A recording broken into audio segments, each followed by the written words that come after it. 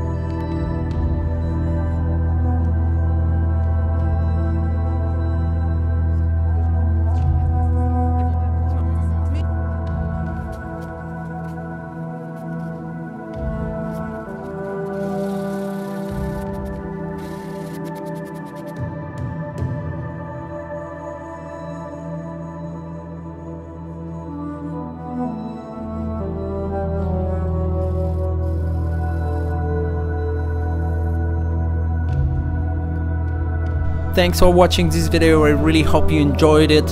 Please don't forget you can always purchase this pattern and many other patterns in PDF or acrylic version on my website amleathercraft.com.